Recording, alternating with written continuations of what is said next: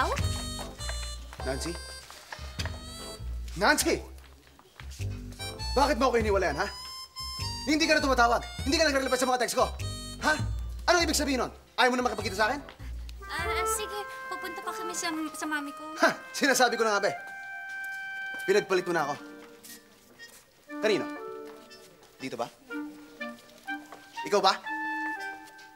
Ano meron niya na wala ako? Ha? Chan? Oo. Wala akong chan. Kulubot? Oo. Wala akong kulubot. At wala rin ako senior citizen's card. Naiintindihan mo yan? Wala akong senior citizen's card. Dahil bata ako. At anong gusto mo palabasin? Immature ako? Mature siya? Kaya kumuha na matanda? Ha? Yung ba gusto mo palabasin? Ha? Ang sakit doon, ha? O ikaw? Ang swerte mo. Ikaw ang pinili niya. Ang ibig sabihin ng mahal ka talaga niya. At nagpupunta pa kayo sa magulang, ha? Alam mo ako, hindi ko nakilala ang magulang niyan, lalo na tatay niyan. Hmm? Pakikilala ko sa'yo. Ang tatay niya. Ako ang tatay niya, tarantado. Yung cellphone niyan, burahin mo na.